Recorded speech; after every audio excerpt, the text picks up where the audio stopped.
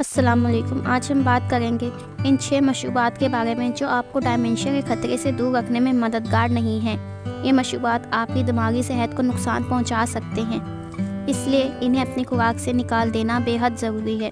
तो आइए शुरू करते हैं। पहला मशरूब है सोडा। इसमें ज़्यादा शक्कर और केमिकल्स होते हैं जो दिमागी सेहत पर मनफी असर डाल सकते हैं। ज़्यादा सोडा पीने से याददाश्त में कमी और दीगर दिमागी मसाइल पैदा हो सकते हैं। दूसरा मशरूब है कैफ़ीन। कैफ़ीन से भरपूर मशरूबात जैसे कि कुछ कॉफ़ी और चाय, अगरचे कैफ़ीन का महदूद इस्तेमाल फ़ायदेमंद हो सकता है, लेकिन ज़्यादा मकदार दिमागी सेहत पर मनफी असर डाल सकता है। तीसरा मशरूब है नारियल का पानी, जिसमें इजाफी शुगर हो। ये आपके जिसम को हाइड्रेशन तो देता है, लेकिन जब इसमें इजाफी शुगर शामिल की जाती है तो ये आपकी दिमागी जहर के लिए नुकसानदा हो सकता है। चौथा मशरूब है पैकेट वाले जूस।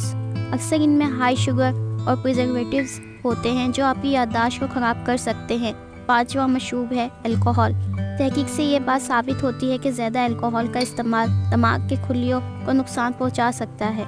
ये डायमेंशिया के खतरे को बढ़ाता है। आखिरी मशरूब है एनर्जी ड्रिंक्स अगर चाहिए आपको पूरी तोानाई फराम कर सकते हैं, लेकिन इनमें कैफ़ीन और शक्कर की मकदार ज़्यादा होती है। ज़्यादा इस्तेमाल से बेचैनी बढ़ सकती है और नींद में खलल पैदा हो सकता है, जो वक्त के साथ दिमागी फ़ालियत को मनफी असर डाल सकता है। इन मशरूबात से दूर रहना आपकी जहनी सेहत के लिए फ़ायदेमंद हो सकता है।